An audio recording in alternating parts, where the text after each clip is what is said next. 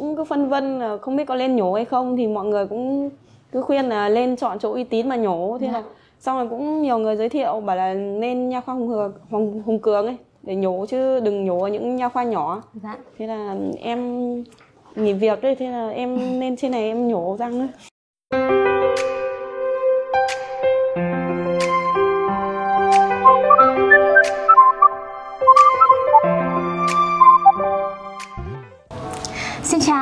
Chào mừng. Dạ vâng, chào mừng các bạn đã quay trở lại video của phòng khám Nha khoa Hùng Cường ngày hôm nay. Dạ vâng, à, thưa quý vị và các bạn, trong thời gian vừa qua thì ờ, Nha khoa Hùng Cường nhận được ờ, rất là nhiều câu hỏi là sắp đến Tết rồi thì có nên loại bỏ chiếc răng khôn hay không và sau khi nhổ xong thì à, có gây đau hay là có gây những biến chứng gì hay không?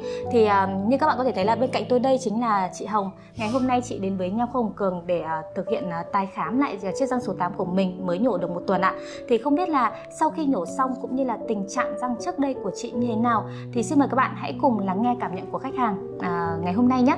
Dạ em chào chị ạ. Dạ em vâng. chị ạ. Lời đầu tiên thì em xin gửi lời cảm ơn tới chị rất là nhiều vì đã tham gia buổi chia sẻ những cái cảm nhận ngày hôm nay. Thì đầu tiên chị có thể giới thiệu một chút về ờ, bản thân của mình. Chị tên gì, chị đến từ đâu và năm nay chị bao nhiêu tuổi ạ? Vâng, à, em chào chị, em chào mọi người. À, em tên là Nguyễn Thị Hồng, em sinh năm 1993. Em hiện tại đang ở Tân Mỹ, thành phố Bắc Giang. Ừm, em đang ở nhà làm công việc nội trợ thôi ạ. À dạ vâng. Ừm, em đến với nha khoa Hùng Cường thì cũng do mọi người tư vấn với lại các mẹ bạn bè ấy, giới thiệu nhiều. Với lại cũng một phần là qua Facebook nữa.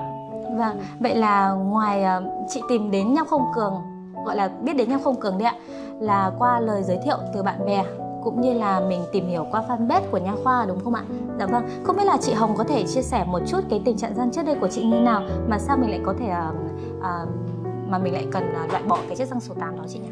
Vâng, uh, trước đây thì răng của em là ờ, răng số 8 hàm trên nó bị mọc bất thường. Màu bất thường. Ờ, đi khám thì ở nha khoa gần nhà thì bác sĩ bảo là mọc dài hơn ấy và bất thường nó hay gây đau ấy. Lúc đầu em nghĩ là bị sâu răng nhưng mà Dạ.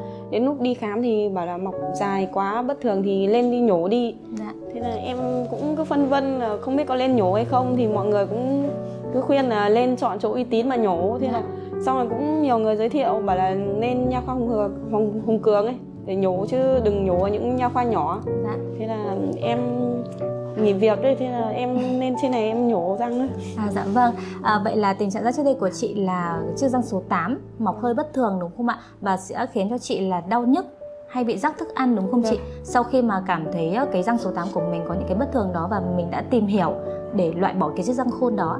Dạ vâng, à, vậy ờm, đối với chiếc răng khôn như chị cũng biết là một cái răng ờ, cũng ờ, khá là nguy hiểm. Thì không biết là cảm nhận ờ, của chị mà trước khi loại bỏ chiếc răng đó chị có hồi hộp hay lo lắng gì không ạ?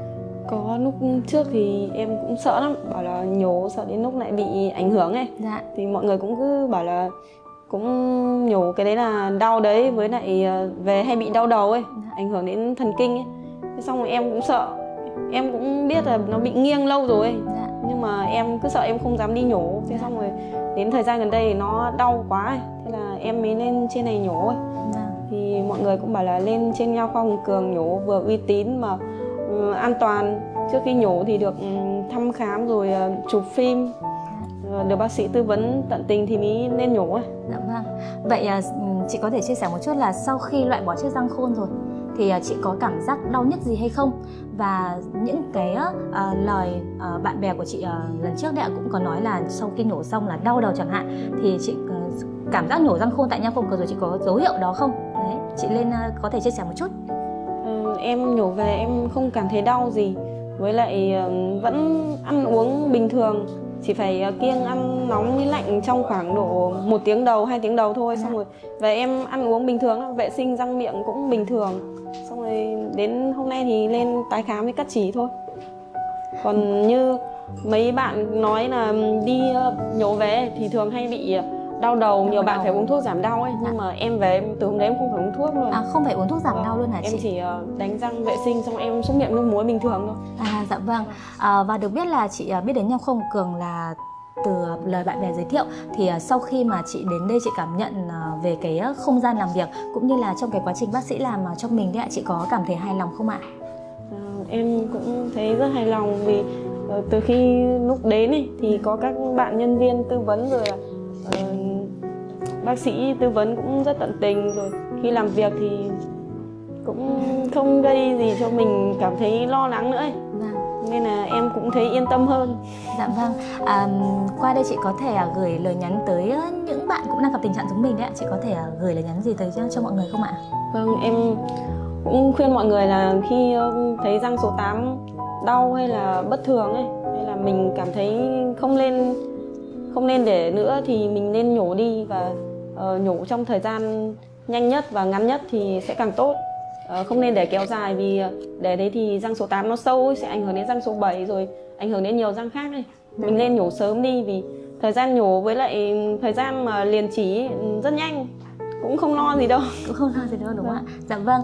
À, và cũng bước sang năm 2023 rồi ạ. Không biết là chị có muốn gửi thông điệp gì tới à, các bác sĩ tại nha hồng cường không ạ? Ừ, sắp đến năm mới thì em cũng chúc cho nha khoa hùng cường luôn phát triển và luôn tận tình trong công việc để chăm sóc được nhiều khách hàng lan tỏa được cho nhiều người và sẽ có nhiều chi nhánh hơn nữa à, để dạ ai cũng biết đến ạ.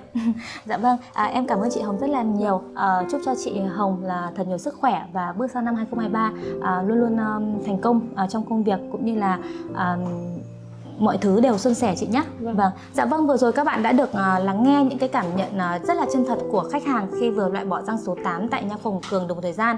Và ngày hôm nay thì chị đến tái khám định kỳ và uh, hiện tại chị cảm thấy uh, chiếc răng số 8 sau khi loại bỏ xong thì rất là dễ chịu, uh, không khiến cho chị đau nhức hay khó chịu gì ạ. Và nếu các bạn uh, gần đến Tết rồi, nếu các bạn cũng gặp tình trạng răng số 8 thì các bạn có thể đến ngay nha khoa Hồng Cường để được uh, các bác sĩ thăm khám và tư vấn cho các bạn nhé. Và sau đây mình xin phép dừng video tại đây và hẹn gặp lại các bạn trong những lần video tiếp theo. Xin chào và hẹn gặp lại!